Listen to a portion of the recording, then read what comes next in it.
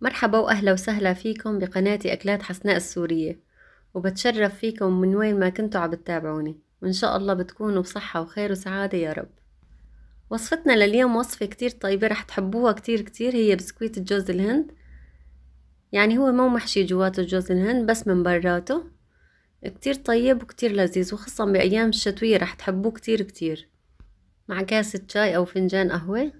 طعمته كتير طيبة. وبدوب بالدم ذوبان. مثل ما شايفين بفرط فرط مثل الغريبة. يعني كتير طري وكتير لذيذ. إن شاء الله رح ينال إعجابكم. إذا كنتوا جداد عم تزوروا قناتي بتمنى تشتركوا بالقناة وتفعلوا زر الجرس ليصلكم كل شي جديد أنا بنزله. وهلأ يلا نحضر الوصفة سوا. هلأ أول شي بدي أحط زبدة ميتين وخمسين جرام.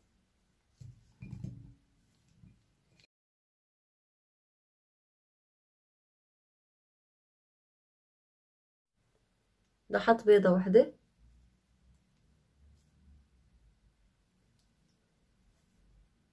وكاسة شاي صغيرة زيت نباتي.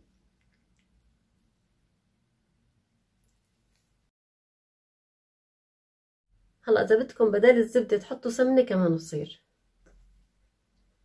كاسة سكر بودرة والكاسة هاي بتساوي 200 ملي كاسة المي العادية. بحط زر فانيليا. وزرف بيكنج باودر. العيارات كلهم بتلاقوهم بصندوق الوصف. هلا دقلينهم هيك شوي.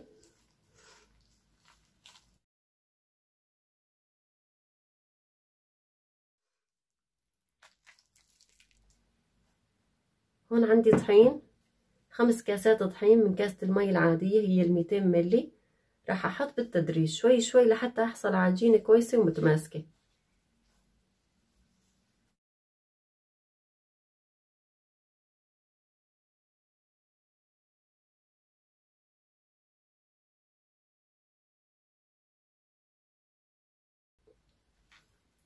هلا هيك بالتدريج. شوي شوي.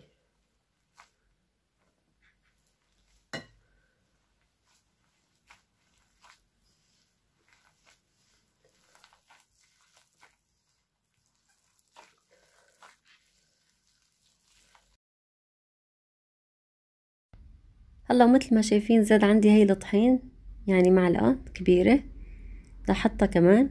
هن الخمس كاسات الطحين. هلا هي العجينة لازم ما تكون ناشفة كتير ولا تكون طرية كتير. يعني لازم تكون شوي طرية مثل هلا راح فرجيكم شلون. هيك لازم تكون شوي طرية. إذا كانت ناشفة كتير بتصير قاسية يعني البسكويت بصير ماكن لازم يكون شوي طرية مشان يقرش قرش. ويصير طعمته كتير طيبة. هلا هون عندي أربع معالق سمسم معلقة الطعام. هلا هو كان أبيض أنا حمصته بالطواي. لازم تحطوه محمص ما لازم يكون تحطوه أبيض. محمص أطيب بطلع. هلا بدي أحطه هيك؟ هلا السمسم كتير بيعطي طعمة طيبة لل هاي البسكويت. كتير كتير طيب بطلع. له نكهته كتير لذيذة. هلا هيك بدنا نخلطه مع بعض.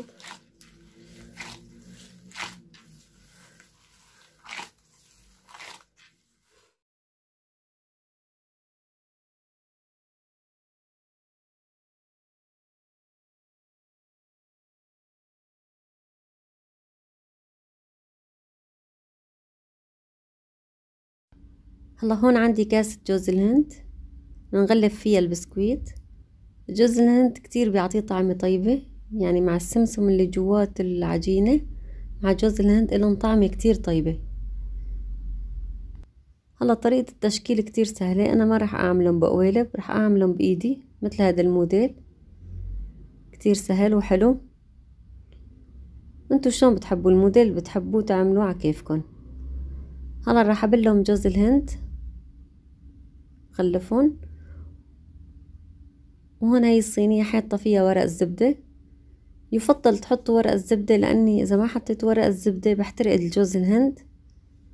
يعني بشوط شوي بتأمر أكتر بس ورق الزبدة بتحافظ عليه ما تخليه إنه يحترق إنه بتأمر بس ما بحترق.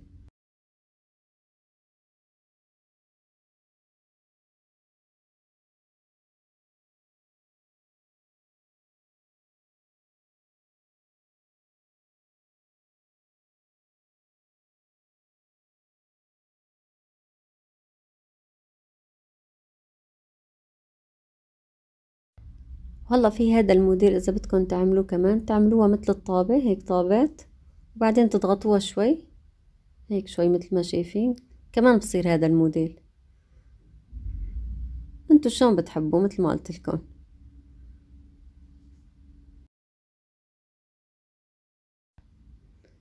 هلا مثل ما شايفين أنا هدول عملتهم.